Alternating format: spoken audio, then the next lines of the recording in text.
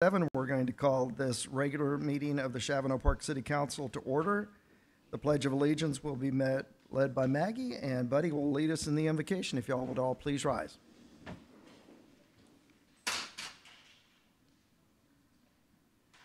Pledge allegiance to the flag of the United States of America and to the republic for which stands one nation, under God, indivisible, with liberty and justice for all. Gracious God, we thank you for this opportunity to call people together in support of our community. We thank you for each and every one who is present here today. You have blessed us with supportive stewards who seek what's best for our community of Shavano Park. And we thank you most for all of you being here in our midst. Dear God, help us supply your wisdom as we decide on certain matters, and let your presence be made known and lead us through the decisions we make today. This we pray in Jesus' name. Amen. Amen. Okay, item number three, citizens to be heard. There are no citizens to be heard, which brings us to item number four, council member comments. Lee, Gratefully, we have cooler weather at long last, um, and the promise of rain in our near future, for which I am personally very grateful. thank you, Lee. Pete, Yeah, I I just want to welcome everybody here, and, and I want to wish a special congratulations to Bill. So, uh, Bill on Saturday celebrated his 10 years with, uh, with Shavano Park. So I, I think, I think that's quite an accomplishment. And, uh, and, and I was talking to Bill one day, and, and I, I think most of you know that Bill was the commander at, at Fort Hood. And uh, we were talking about the differences between Fort Hood and Shavano Park. He says, Pete, he says, you know, some days, he said, managing Shavano is a lot harder than managing Fort Hood. so, so, so thank you, Bill, for all that you do for Shavano Park. Conrad, Oh, good to see everyone. I mean, we got at least half the seats full. That's nice. Yes. And, uh, yeah, I'd like to thank Bill for all he does with this city. Um, it's really good that we have him. And, uh, welcome, everybody. Maggie, Me? Well, I just want to, it's really nice to see so many folks here and uh, that have done so many things for the city. Uh, Reminder, uh, well, it's not up there now, trunk or treat coming this Sunday from four to six. I mean, that has been such a fun event for our city. And I also want to acknowledge our city manager, Bill. Not only has he been here for 10 wonderful years, but he has two pecans off his pecan tree. Now, get up there, Mayor, you and Bill have your picture taken with those pecans. Curtis, you need to take their picture. This goes down in infamy. So, welcome. thank you. History, infamy, yes. yes. Buddy, Welcome, everyone, and, and Bill, thank you for your service to the community. We- We really appreciate it. I'm sure the citizens do as well. Thank you. Uh, And Bill, I normally don't comment during the council members' comments, uh, but uh, ditto on all of that. It's been an extremely productive 10 years. We've accomplished more in these 10 years than we have in the previous 20 years that I worked with the city of Shavano Park. So uh, thank you for all that you've done and continue to do for our community.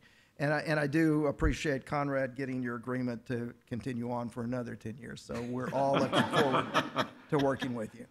Well, it's been a great team, uh, and it's a team effort, and I've had a tremendous support from the city council and my uh, directors and all the subordinates associated the employees do a fantastic job of serving the community, and so that makes it a whole lot easier. So thank you.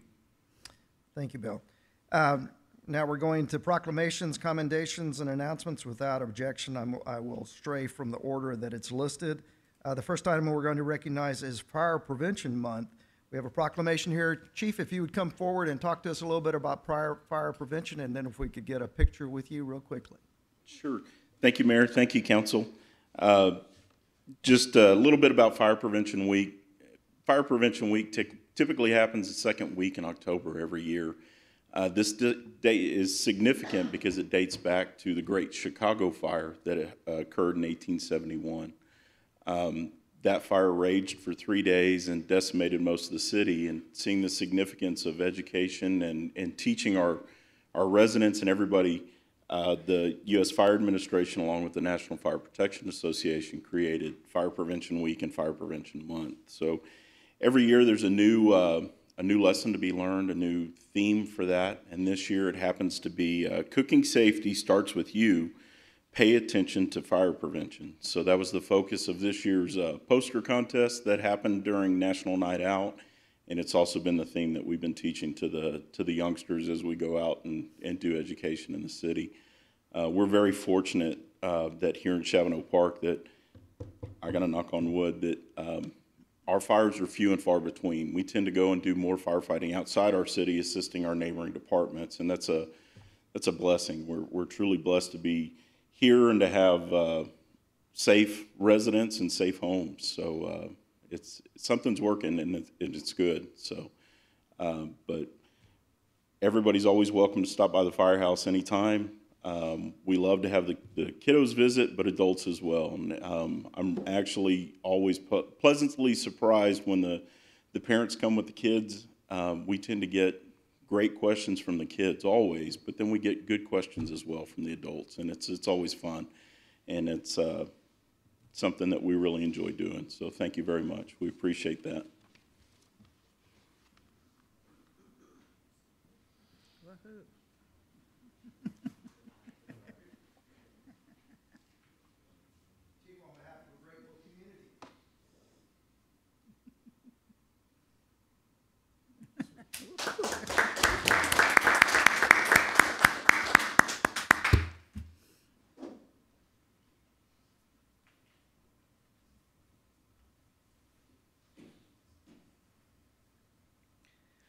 Our next item on the agenda is recognition of Breast Cancer Awareness Month. We're very fortunate this, uh, this council meeting to have Rosemary Grobow, Dr. Jennifer Cook, and board members Laura Bowers and Sandy Stanford.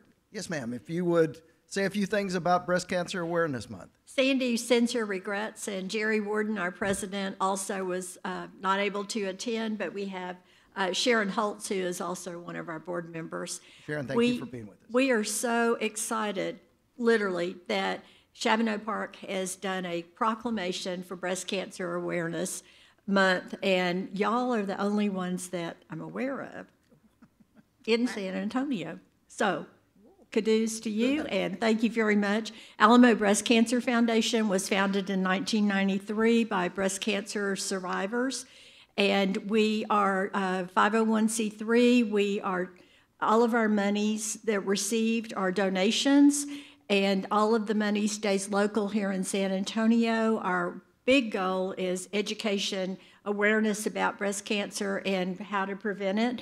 We also um, put on education programs. A major contribution that we have is with the San Antonio Breast Cancer Symposium that is held annually here in San Antonio um, on the first week in December. It is a international conference where all of the movers and shakers and researchers um, with cutting edge research to report on for breast cancer.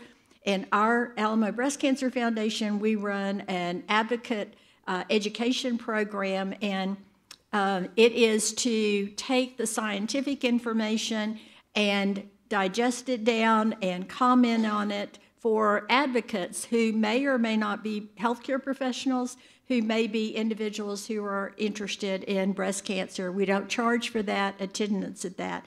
Uh, it's down at the convention center.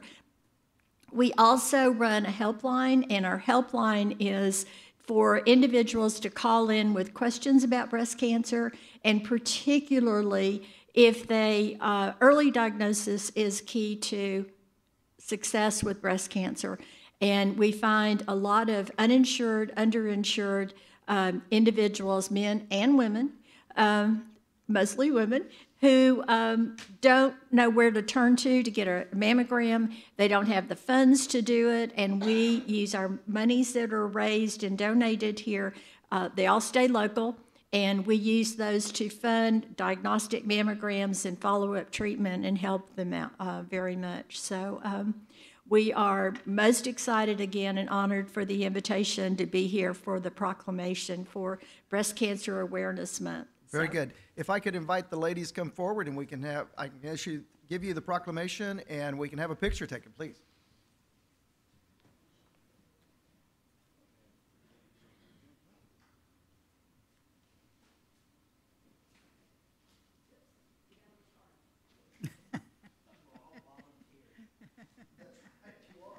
We're all volunteers, yeah. Shake your hand.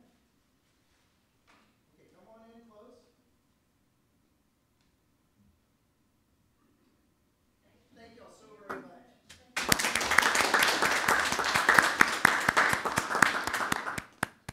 This will, this will go on display tomorrow. We're having a health fair, part of our education outreach, at the neighborhood place on Reva Street on the General McMullen. So we're proudly displaying this.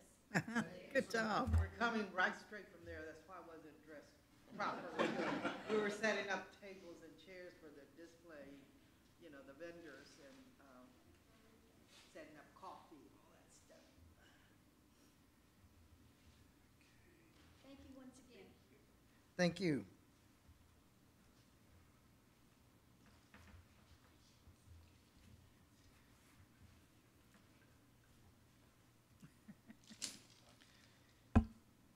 Okay, now we're going to go to the recognition of citizens for their support in National Night Out. National Night Out is one of our five community events. Uh, each year, we have hundreds of students that come in with their parents into Shavano Park to participate in our poster contest, um, hundreds including the parents and the other family members and that sort. And then we also have several hundred citizens that will show up in the differing, the different neighborhood events across the city. Uh, tonight, we have three of the sponsors who are here with us this evening, and we want to bring them each forward to receive their proclamations. Um, First, if I could have Lori and Sean Fanning come forward.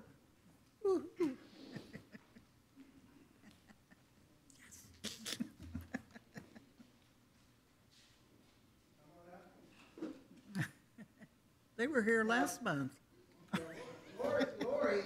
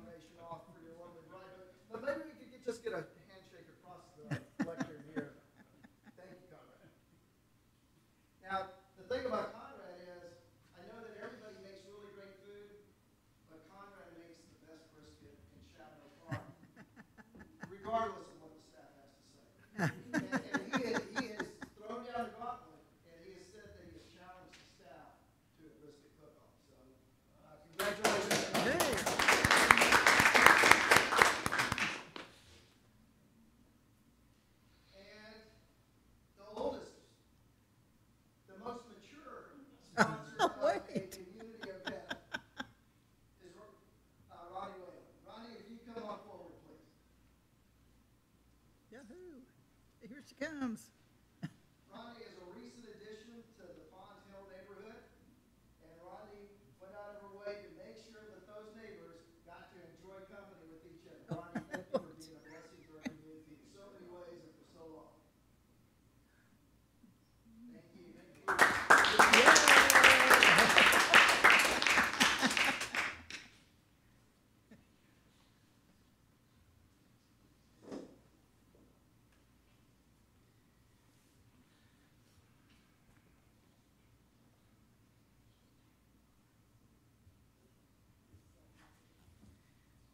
And then there is the kingpin of all sponsors for our community events in Shavano Park, and that is Whataburger. Now, I don't know if y'all have enjoyed Whataburger this week, but you should have because I have to enjoy Whataburger every single week. I, I think we should have an ordinance that says that about the entire community. Uh, they love our children and they love the people in Shavano Park. This year, they gave away three gift baskets for Whataburger for a year to the students participating in the Blackman Poster Contest. And I know that those kids compete just to get the, the special mustard and the fancy mustard. The socks are absolutely awesome. But the fathers who attended said that they really appreciated having Whataburger for a year and having their children actually provide a meal for the family. God bless Whataburger for putting those children in the hearts of their fathers. And so today, we have Lindsay Barscom, who has come, who is the local manager. And Lindsay, I have a proclamation for you, and I have a, uh, a small token of our appreciation. if you'd come forward and receive this.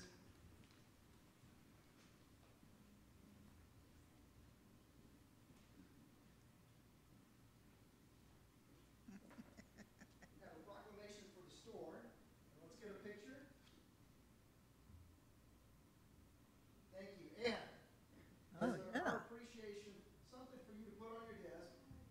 I know that you don't probably get tombstones that often from people in recognition, but y'all are such a special business partner for the entire community. Thank you so very much.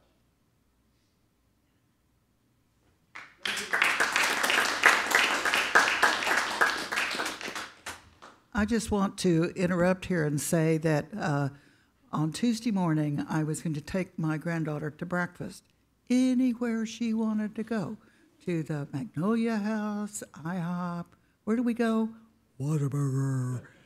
Pancake platter, too. Got 'em. Perfect. Thank you.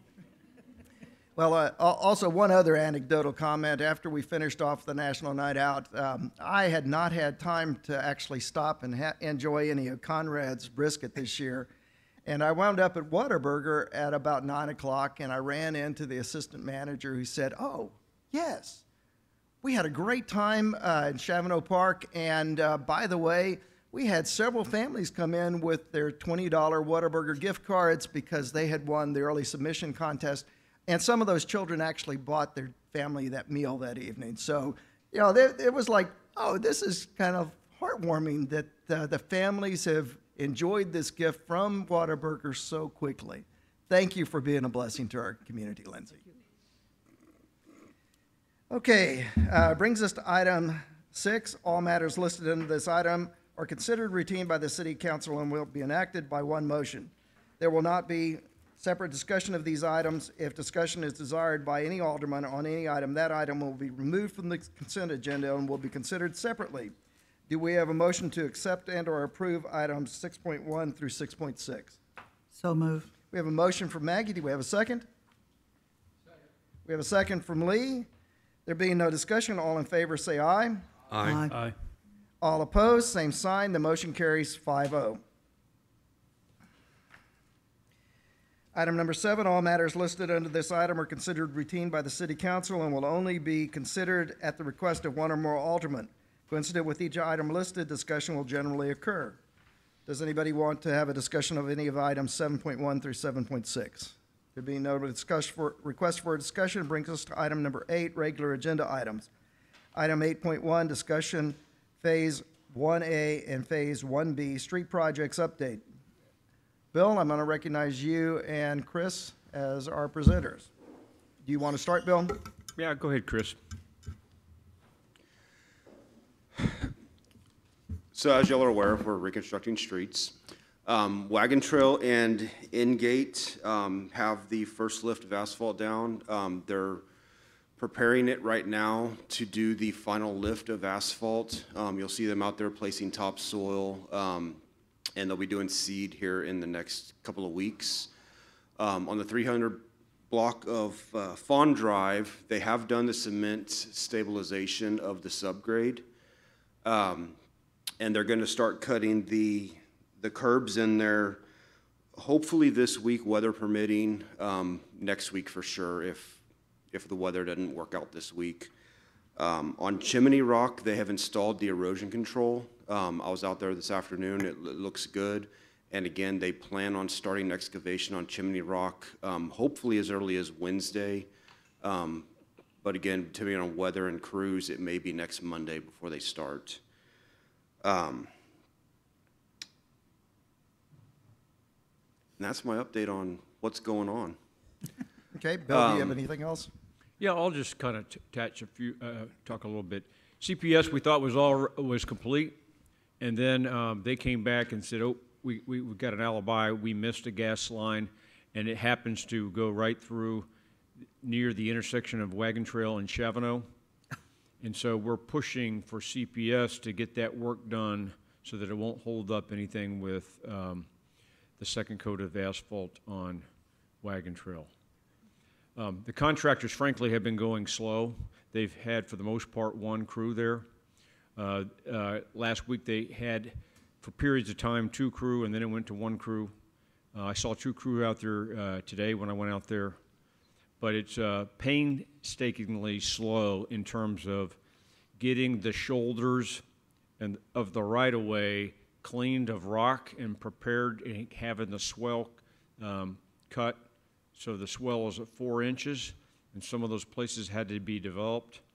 And, and so that's where they are. They, they, what the plan is, is to get the swells done, the rocks cleaned up, the, uh, the mailboxes have to be reinstalled, the topsoil in place, and then the seed put down.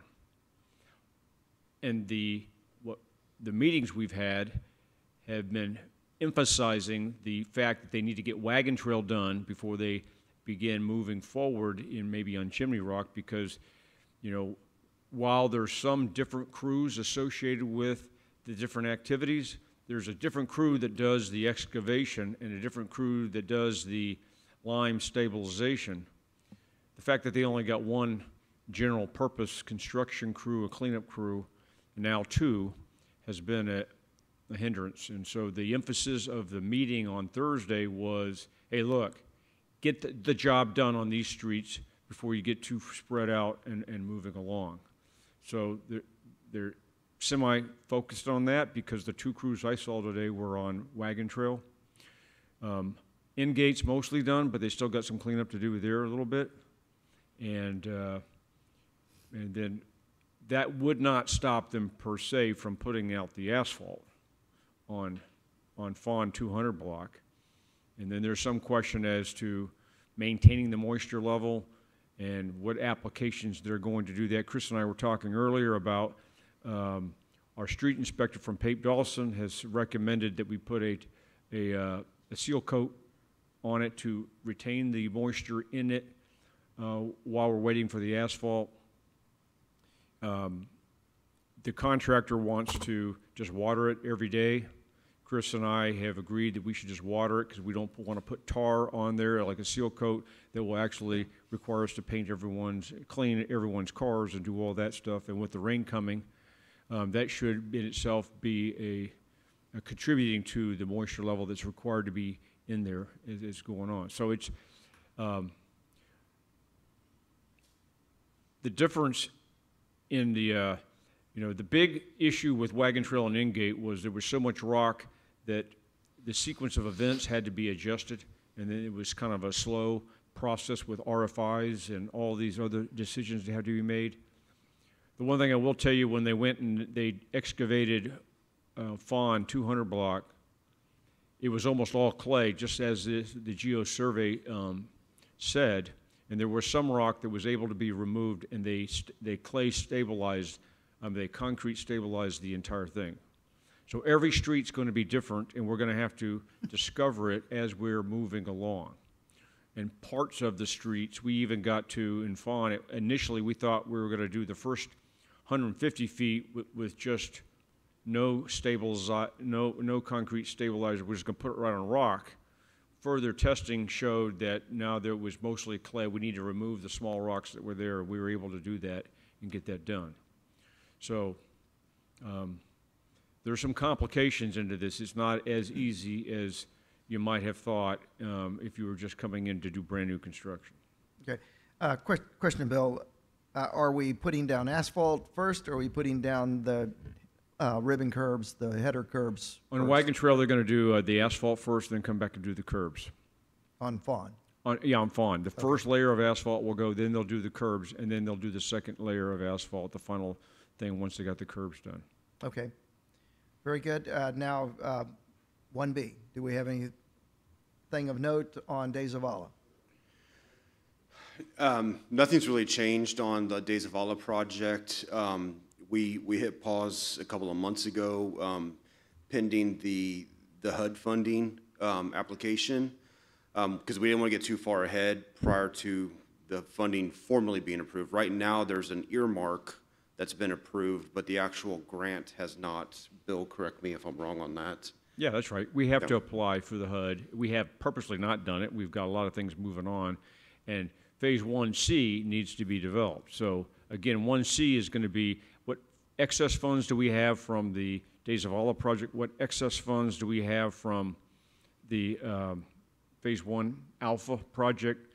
We'll probably um, put something together in the next week or two in which just has um, examples. Uh, Okay, so Cinnamon Oak, Post Oak Way, we need to get an estimate on that. We can throw that in there and then maybe do, uh, do, do a, uh, maybe, maybe a street assessment could be thrown in there.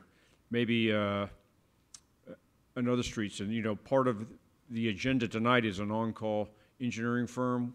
We're looking at maybe then, um, entering into contract with them to do a street assessment, and then that could help us inform whether we wait until that's complete or not, we still have to do some coordination and, and sort out. But it's not that terribly complicated, but we don't want to apply for the grant and then have to go redo it.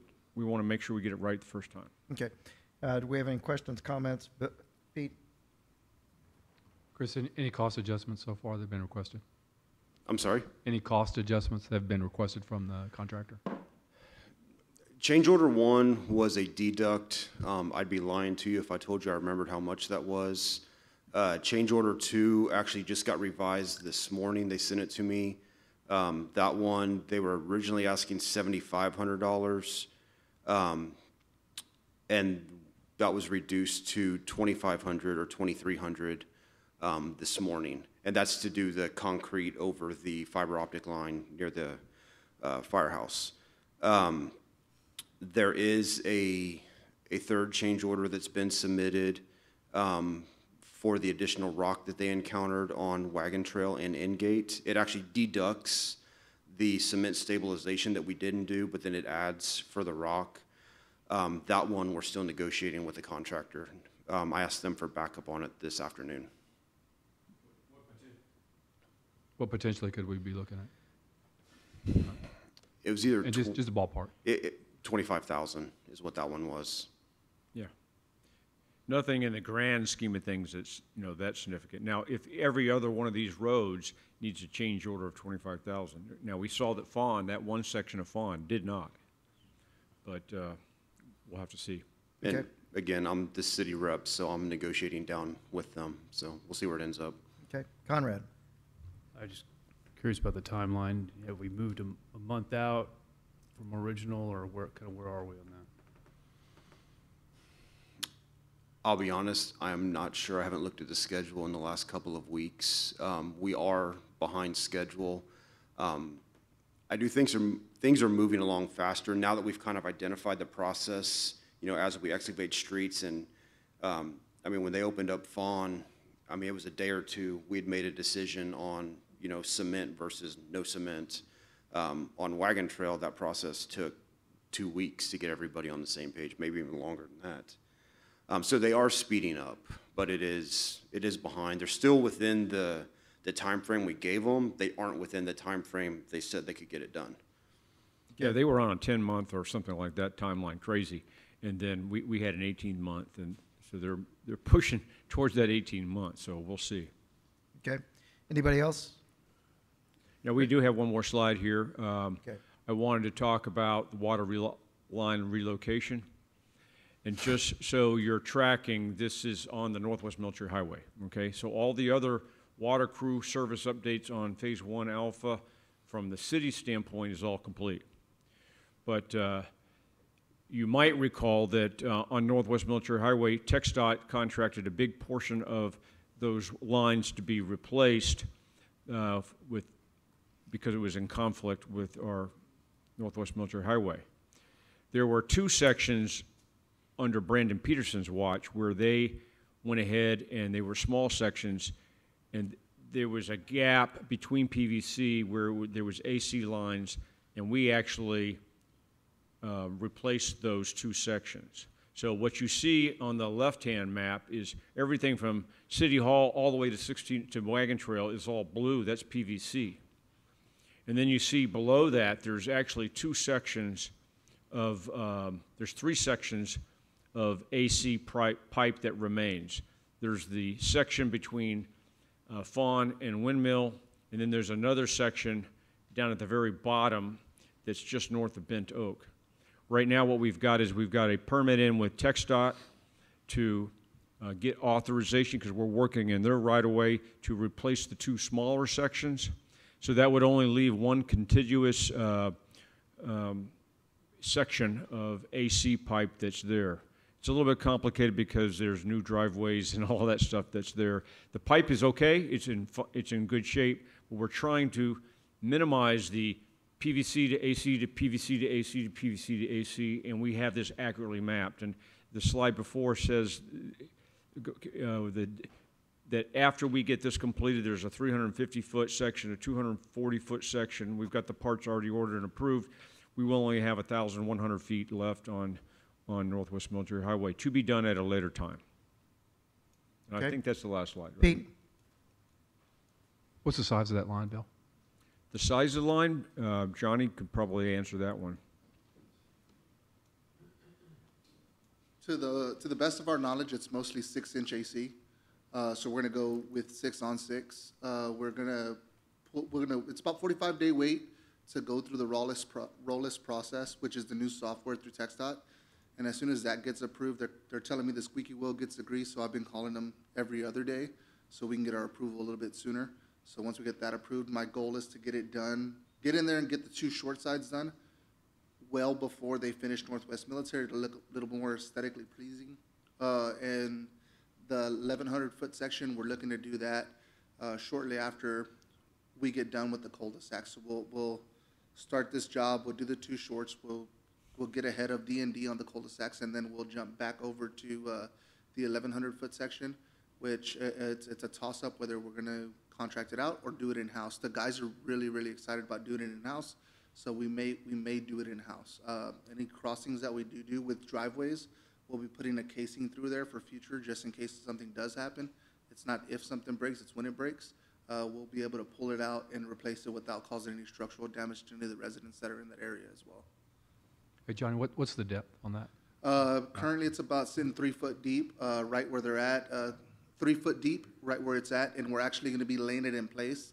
So we'll be laying it at the exact depth that we're at, uh, nothing too crazy, it's kind of in and out type of job. Okay.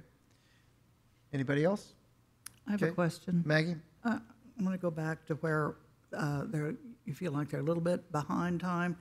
I- Is this something we should be worried about? I'm hearing that maybe they were too ambitious on setting the first deadline. So are we okay, or is it something we should be looking into or alarmed about that they're behind, or? I don't think it's anything to be worried about. I do believe their original schedule, schedule was very aggressive. Um, you know, when we looked at the work that was required, we thought it was 18 months worth of work. They came in and said they could do it in almost half that time, 10 months. Right. Um, and so at this point, I'm not concerned about the schedule. I mean, obviously, we'd like them to do it faster, um, and we are pushing them to do it faster, but We want it done right. we, but- we want it done right, exactly. So it's, it's a balancing act at this Okay, point. so we're, so we're really okay with that? I, I think we're okay. It's not something we need to look into? Okay. Yeah. Thank you. Okay. Chris, thank you very much. We appreciate it. Uh, Brings us to item 8.2, discussion action approval of up to three contractors for the city's request for qualification for on-call engineering services. Bill? So, um, we informed you last month, we had released an R, a request for qualifications for on-call engineering services. Most cities have, uh, several engineering firms. They have a primary city engineer, and that has capabilities, and then they have other, uh, other firms that they rotate and/or they use niche, uh, services here. Uh, And, and, uh, so, um, we released a request for qualifications, we got eight bids in. Um, Almost all of these are very reputable firms, to be frank with you. Um, We, we did create a scoring sheet, and uh, we based the criteria on the firm's ability to provide quality municipal engineering services at a reasonable cost. Part of that is really kind of hard to, to gauge, since we don't get cost, uh, we, we don't get the pricing associated with that, but we, um, look at their package, we make a, a- a judgment. The firm's experience and expertise in engineering services uh, listed in our qualifications. So we listed some types of projects we might go to, you know, a water uh, hydrology model, um, street assessments and design and things like that. One of the things we're trying to do is a street design manual. Uh, There was uh, a th- third criteria, primary experience and qualifications and references. So everyone had good references for the most part.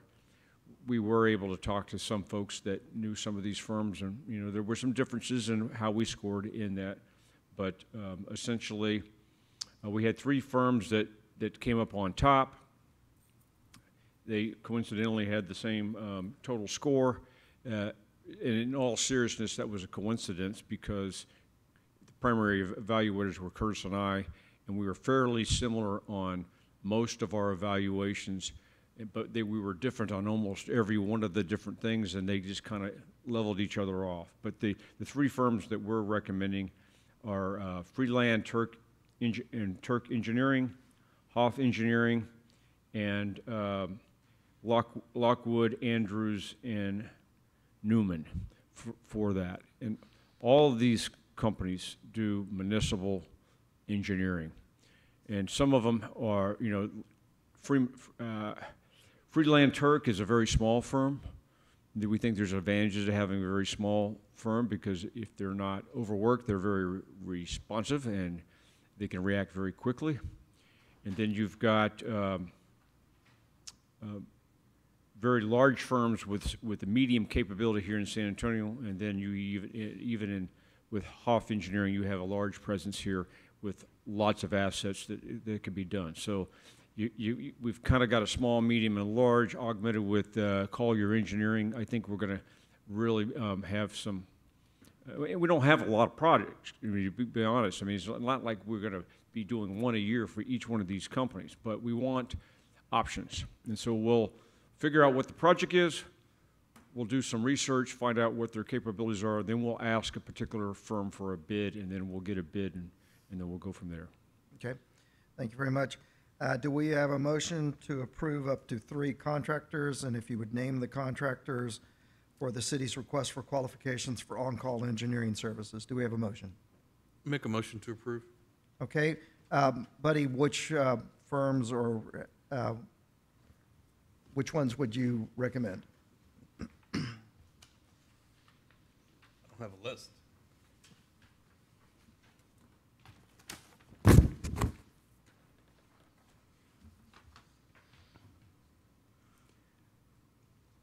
Uh, Halff Engineering, Lockwood Andrews and Newman, and uh, Freeland Turk Engineering.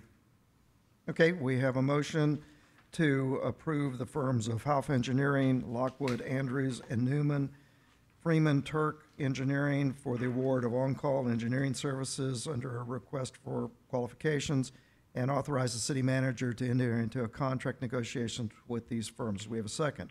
Second. We have a second from Lee. We're now open for discussion. Is there any discussion? There being no discussion, all in favor say aye. Aye. All opposed, same sign. The motion carries 5-0. Item 8.3, discussion action ordinance O 2023-017, amending Chapter 6 Building and Building Regulations to establish procedures for the abatement of substandard structures under Local Government Code Section 214. This is a first reading. Bill? Yeah, this is a combined effort uh, initiated by the uh, chief of police, actually.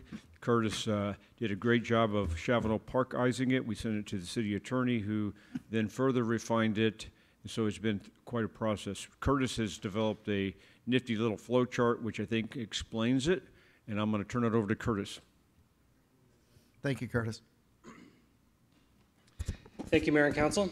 All right, so this is a substandard building abatement ordinance. So just to clarify right up front, this is not granting the city any new power. This is a power that the state law grants us under Section 214. You can see there. But what this does is establish a process for us to enact that power. Um, Without an ordinance that establishes the process, much similar to the abatement of junk vehicles that we did this past spring, we can't actually go through this process. So the city has, just to review, we have adopted num- numerous building codes, fire code. All those displayed up there are actually ones that the city enforces today, the 2018 International Building Codes, the fire code, and the 2017 National Electric Code. Next slide. And so while those codes have already in them processes for plan review, and authority and process for plan review, inspection, stop work orders, and issue citation for noncompliance with them. There's nothing in them when it deals with a structure that is um, very specific in law, that is, um, and there's specific in ordinance, but it's lapidated, it has become housing for criminal activities, all sorts of things that are kind of outside the scope necessarily of very narrow building codes. So this process, the building official, which is the city manager designee, but in function, that's going to be the building inspector, who we have contracted out, BB Inspections, or the fire marshal, Daryl Dover here. They, um, they do their normal plan review inspections, and generally, all the time, the structure owner of the contractor comes to compliance with the fire marshal's uh, inspection and so forth. And certain, and new, what this ordinance establishes is everything to the right here for the audience. So the building official, the fire marshal determines that the building is substandard. They can take three actions. They issue a notice for it, it must be repaired or demolished. They secure the building, or they can recommend that proceedings for the new board that established the Building Standards Board. This new board we have set to be co-appointed and co-termed with the Board of Adjustment. So when the council appoints the Board of Adjustment, you are functionally appointing the Building Standards Board, which is exactly how the Junk Vehicle Board of Appeals is done. It is not a new set of people you are appointing. If the, the structure owner, when they get that notice, they can come into compliance and then everything is fine. If they refuse to come into compliance, then the abatement proceedings can start with the Building Standards Board. There is a public hearing, there is public notice. The ordinance is very specific on how the notice is given, how many days in advance. That board convenes, they have their public hearing. Both parties are given to speak, much similar to a Board of uh, Appeals for a zoning variance. And the board, the, um, the board can decide that they don't support the building inspector or the fire marshal's recommendations, and they don't support the recommendations, and then nothing happens. But if they do support it, they can require that the repairs are done. Either the city goes and do it themselves, and then the cost is passed on through a lien or some other legal mechanism onto that homeowner if they, uh, not homes, you can't do homes in Texas Constitution, but businesses. Um, They they order a vacation of the structure, demolish the structure, the building be secured, occupants be relocated. And then, of course, there are still always, the board decisions can be appealed to a court of civil jurisdiction. So um, that concludes my presentation. If you have any more legal specific questions, we have Valerie here to help on that. Okay, thank you, Curtis. I think that when we think of this, it's called condemnation. It's about a building condemn- condemnation. Uh, Do we have a motion to approve ordinance O 2023-017, amending Chapter 6, Building and Building Regulations to establish procedures for the abatement of substandard structures under Local Government Code Chapter 214? We have a motion from Lee. Do we have a second? Second. We have a second from Conrad. We're now open for discussion. Lee? I, th- I think it would be helpful uh, in this process if the second one on the top, building official or fire marshal determines, it might be uh, prudent if we ex- explain what bullet number, uh, number two stands for, secure the building, what that entails. I don't, I do not know if the ordinance exactly defines what secure the building is, means, but But of course, that could mean, um, I think they typically put a lock on the door, don't they? It's a removal of people and, and items and the securing of the building against reentry. Yeah, so the, uh, the, the ch- the old church property at one point in time was declared substandard by the fire marshal. And, um, of course, there wasn't anybody in it at the time, eh, but he locked it with a chain and he has then secured it. Then we would periodically go by the police to make sure it wasn't being occupied again. Now, in, in that case, what they did is they brought junk to it, and they were not occupying the inside. And that took us a while to get that sorted out, but yes, that, uh, that's what we would do. That's what I understand has been done, at least in Shavano Park. Right, it's just, it's a process, and I just want to make sure everybody understands on council that this does carry some weight in the removal of persons, and when you start doing removal of people, it gets into a whole nother arena. Uh, But this should cover it, in- in my estimate. Okay? Thank you. Thank you, Lee. Uh, Any other questions, comments, concerns? There being no further discussion, all in favor say aye. Aye. Aye. All opposed, same sign. The motion carries 5-0. Municipal Court, uh, item number 8.4, discussion action ordinance O 2023-020, amending Chapter 10, Court to amend municipal court jurisdiction. This is a first reading. Bill?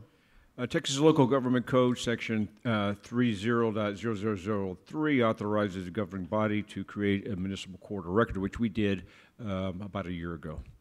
And uh, in that, we had different, uh, there's a lot of different language associated with that, a lot of tweaks that were made.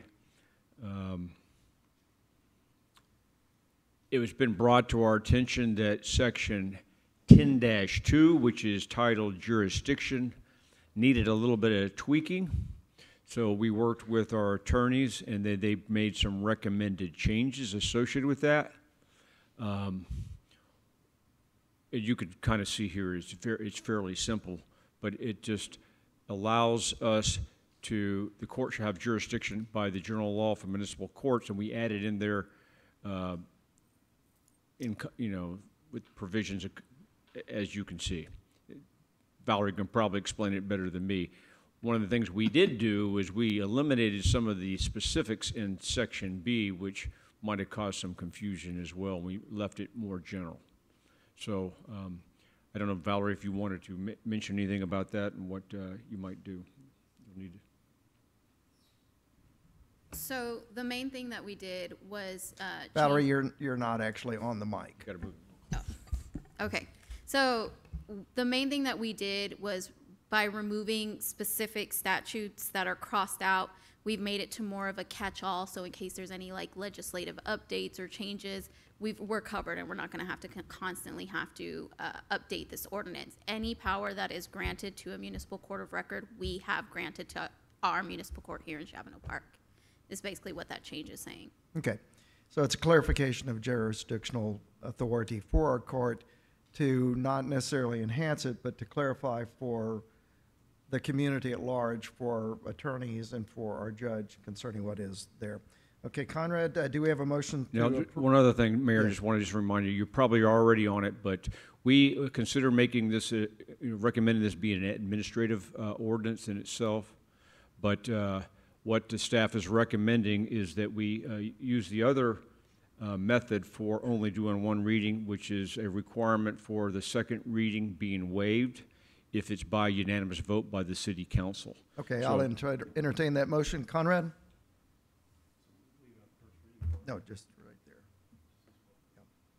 So I'd like to make a motion to approve ordinance O 2023 020, amending chapter 10 court to amend the municipal court uh, jurisdiction. First reading, Yes? and, and that the requirement for the second reading be waived by unanimous vote, as the second vote is unnecessary. Okay, uh, we have a motion to approve ordinance O 2023-020, amending Chapter 10, Court to amend municipal court jurisdiction, and that the requirement of a second reading is waived by unanimous vote as a second vote is unnecessary. Do we have a second? Second. Okay, we have a motion and a second. Uh, Do we have any discussion? Okay. Uh, All in favor, say aye. Aye. Aye. All opposed, same sign. The motion carries 5-0. Brings us to item number, um, and at this time, I'm going to execute that ordinance.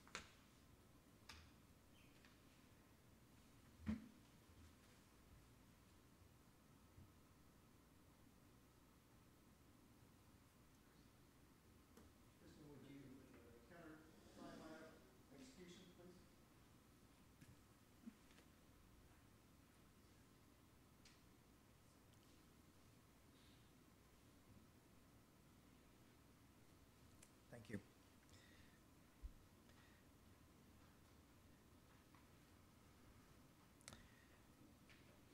Brings us to item number 8.5, discussion action, ordinance O 2023-019, of- amending Chapter 20 offenses and miscellaneous provisions, Article 2 nuisances. Bill? Yeah, so this is all about uh, Article Two nuisances and our, um, our ordinance that governs offenses and uh, miscellaneous provisions. And that authority is given to us from Chapter 217, the Local Government Code. It authorizes us to define and declare what constitutes a nuisance and to authorize and direct the summary abatement of that nuisance in any manner the city wishes, considers expedient and, and also to punish by fine any person responsible for no- such nuisance. And then we've got the Health and Safety Code, which, uh, Section 342, which also authorizes the governing body of a municipality to require a owner of a lot in a municipal, in a city to keep it free from weeds, rubbish, brush, and other objectionable, unsightly, and unsanitary matters. We previously enacted these ordinances, and again, it was pointed out to us that we might need to clarify and adjust some of the language associated with that. Um, and specifically, section twenty twenty-six, which is the injunction and other relief. uh, um, in, in case there is one of these offenses that's occurred. And so you can see, it's, again, it's a fairly simple amount of amendments. So again, the key point is that we're, be, upon being authorized by city council, we're, we're removing the requirement that it be authorized by ordinance. And then we added in the sentence in here which basically talks about um, civil enforcement suits. And Valerie would probably be better um, suited to uh, explain the specifics of that. And I would uh, only point out that, like the previous ordinance, we consider this administrative because it's really just dealing with the language, but just to be clear, we, uh, we're, we're recommending the second reading be waived by a unanimous vote if that is occurred. Okay, and so this is another clarification of jurisdiction and the authority that our court has for both criminal enforcement of our ordinances and a civil application as well. Is that correct? That is correct. Okay.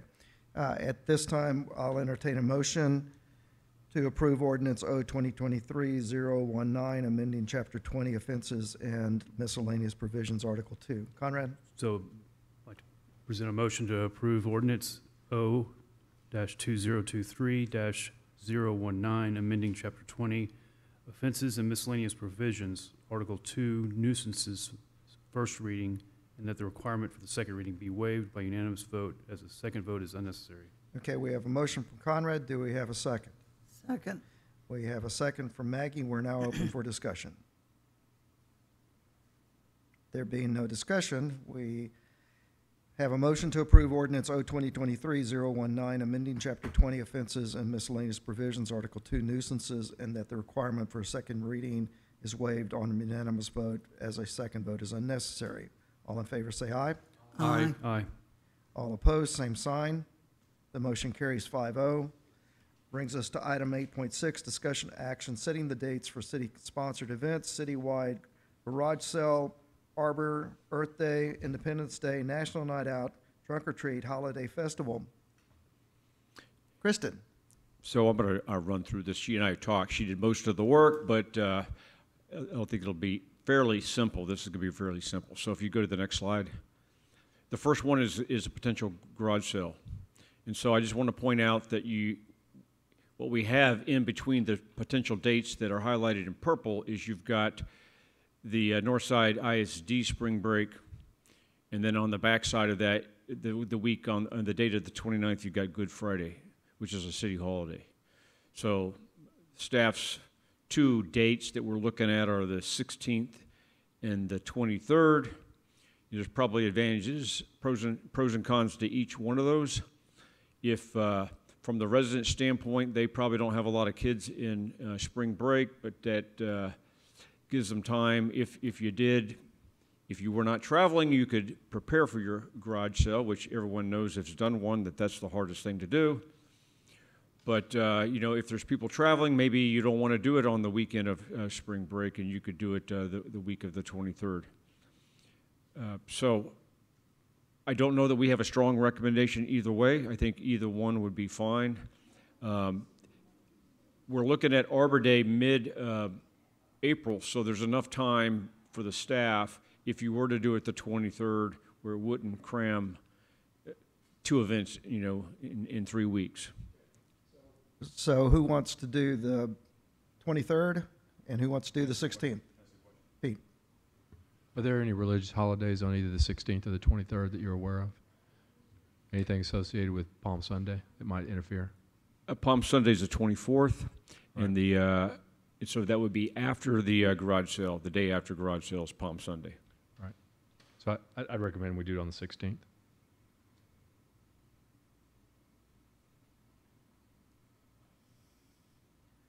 And, and I don't know if anybody actually is um,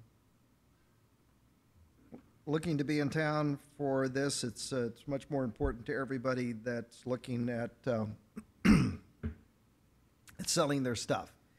And uh, the number one goal in selling your stuff is to have a weekend where it's going to shine. So, Pete, are you telling us that March the 16th is going to be the sunshine date, or do we want to have uh, the 16th and an alternate date of the 23rd in the event that we declare a rain out? If you do it to 16th, then you can always back to That's the right. 23rd. I'm, I'm just asking that we can advertise for the 16th, as Pete has suggested, That- and that's that we exact- have a. That's exactly what I was thinking. Okay, that, that's what I thought you were looking for. Okay, so, so let, let, let's, let's go to the next, let's go to the next event, Arbor Day. Bill? Thank you, Pete. Okay, so you can see you have a, uh, a week in, the first week in April, which is clear of anything that we know of. And, but more importantly, Fiesta starts the 18th. And um, all the parades, the big parades, and the city holiday is the 26th. The Battle of Flowers is the 26th. The Flambeau Parade is the 27th. So we think that we could either do it the 13th or the 20th. I don't know that there's that many uh, conflicting events on the 20th, but there are a number of Fiesta events that happen on the 20th. I just don't know which ones they are now. If we wanted to stay completely clear of Fiesta, we could do it before the, then it would be the 13th, and there's no issue with staff on either one of these days. 13th probably makes more sense, but we can do either one of them. Okay. Yeah. And Passover is the 22nd to the 30th. So it's not a conflict for either date on Passover. Um, Who wants to do the 13th? 13th sounds great. Okay, Bill? Okay. Next uh, is the, is the Independence Day celebration. We typically do it the Saturday before.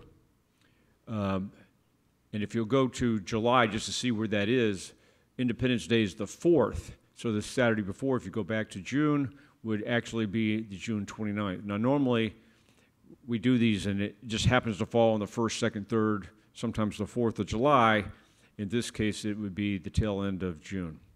We've done that in the past. It hasn't had a big impact. We recommend we continue to do it, and we're, we're recommending the 29th.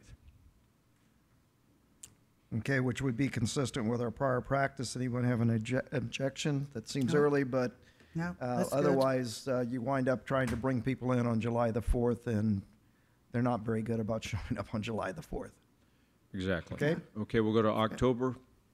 Good news about this is we, Shavano Park, as well as uh, TCMA and a number of organizations have been trying to coach TML not to have their conference in the first week of October, which always conflicts with National Night Out. The issue in, in the past has been that they set these contracts and they compete them four or five years out. They finally have got through that cycle to where the TML conference is going to be the 9th through the 11th um, next year. And we traditionally uh, do our National Night Out when Texas does it, which would be the 1st of October on uh, this next year. So that seems to be a no-brainer. Okay? October the 1st. Conrad? If I could just make a, I'm just throwing this out there, but it's, it's usually, it's a hot week, even at, at that time of the day, but, um, we had one person not be able to stay there because it was too hot. Um, and, um, just give some thought on that, if, if it's possible to move that, but not asking for that, just a thought. If anybody wants to discuss it, maybe for I- I think you need to just put yours underneath the garage and open the kitchen door and let the air conditioning. I cool submit everything. a invoice for that? to get a- You, you absolutely may submit an invoice. Okay. And, No, I and, do. and we'll, and, and, and Brenda will give it all the consideration that it is I- due. I know where it's, Yes. The circular file cabinet. Okay, uh, thank you very much. Trunk or Okay. treat. December. Oh, trunk or treat, that's right, that's right.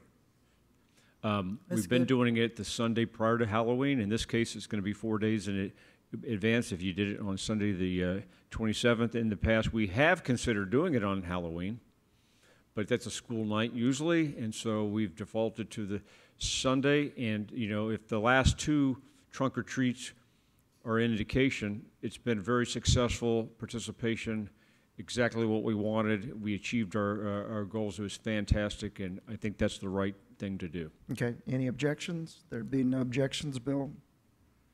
And December, Holiday Festival. again, we, we do that uh, the first Saturday in December. This is on the 7th, which is later than we've normally done. I don't think that's a bad thing. There may be some other events that conflict in that, um, but, um, you know, might be a little bit cooler, and it'll be a little bit darker, but, but no significant difference whether that's the first, the fourth, or the seventh. That's been a good uh, activity date for us, and we've been very successful. It's good. Okay, just a second.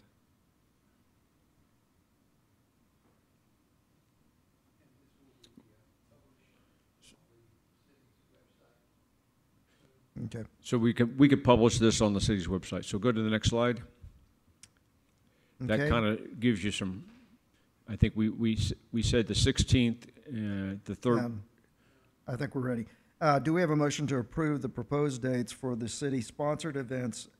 The garage sale being March the thirteenth with an alternate date of the twenty-third, a rain date of the twenty-third, Arbor Day, Earth Day, April the thirteenth, Independence Day, June 29th, National Night Out, October first, Trunk or Treat, October twenty-seventh, and the holiday event, December the seventh. Do we have a motion?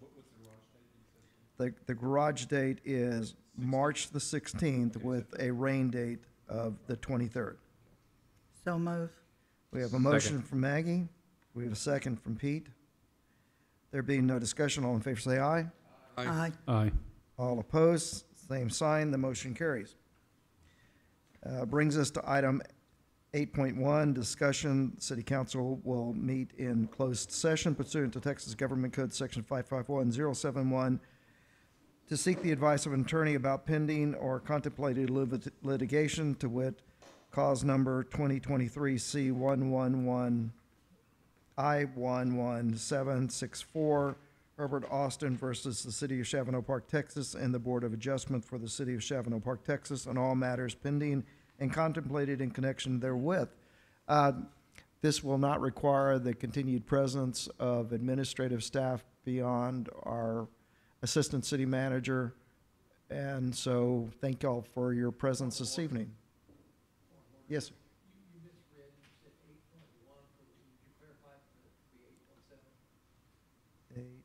Eight, point seven, yes, I'm sorry, eight point seven, thank you. Okay, it is now 7:42, and we're going to go to executive session.